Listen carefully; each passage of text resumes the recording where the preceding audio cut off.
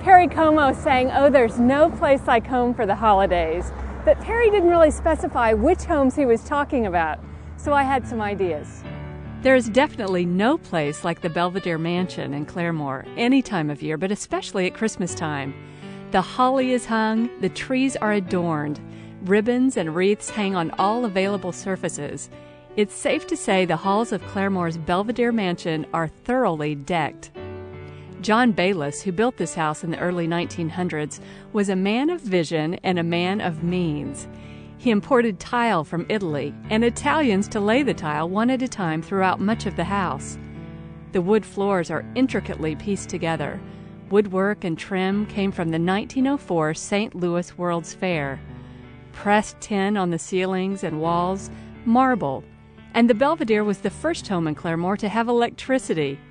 It's safe to say this is more than bricks and mortar. This is a landmark.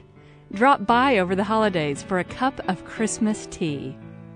In Sapulpa, the 1911 Burnett Mansion has always been a point of interest. Thousands of people have driven by over the years and wondered what it looked like on the inside. Well, now the veil of secrecy, so to speak, has been lifted.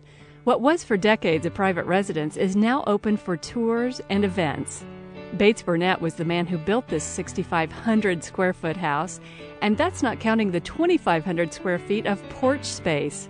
The perfect home for your holiday party. Just down the road in Tulsa, the regal McBirney Mansion keeps watch over the Arkansas River. How about this home for the holidays, where from the moment you enter the front gate, you feel like royalty? Built in 1927 for James McBirney, a banker to Oklahoma's wealthy oilmen, each room of this elegant manor has been restored and lives on as a bed and breakfast. A cozy fireplace in the main living room beckons after a winter evening walk. Or settle in at your private dining table for a scrumptious breakfast before you start your day. Or why not claim this home for the holidays, the Vintage Inn Bed and Breakfast in Alva?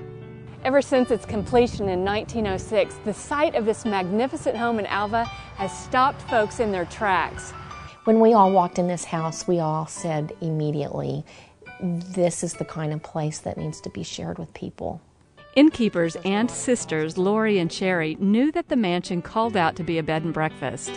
We wanted all the bedrooms to be unique and special so that when you walk in each bedroom of the house, there is a different theme and that, that you're stepping into, you know, just different beautiful Victorian rooms. Thanks to their attention to detail, the Vintage Inn sparkles with extra touches, from fluffy robes and fresh flowers to gourmet cheeses and chocolates. Mm, now that sounds like my kind of home for the holidays.